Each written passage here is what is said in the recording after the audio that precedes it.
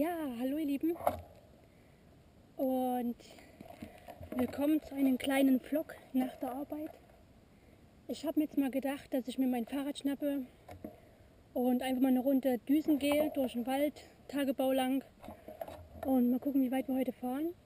Ja, ich bin eben von der Arbeit rein, wir haben es jetzt ungefähr halb sieben. Und ich dachte mir so, fährst mal eine Runde, nimmst es mal auf mit der GoPro Hero 2 und liebe Grüße an, die Stelle, an dieser Stelle an Puster82.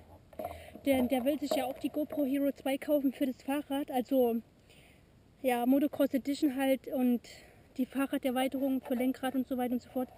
Ich habe jetzt übrigens ähm, die GoPro Hero 2 gerade vorne ähm, ja, an meinen Stoßdämpfern dran gemacht.